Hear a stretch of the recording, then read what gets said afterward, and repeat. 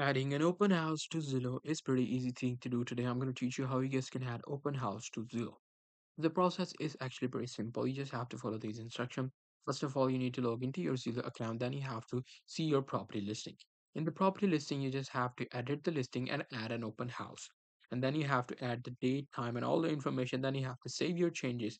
Afterwards, you have to verify the details of the open house if they want you. And then you have to, you know, uh, post it. And that's how you'll be able to list it. Afterwards, you have to monitor it and manage it. However, the Zillow actually access some of the data from the your local MLS, so it will have your uh, open house details, which it will automatically verify from that uh, MLS data. So that's pretty much it. That's how you will be able to do it. Hope you guys find this video helpful.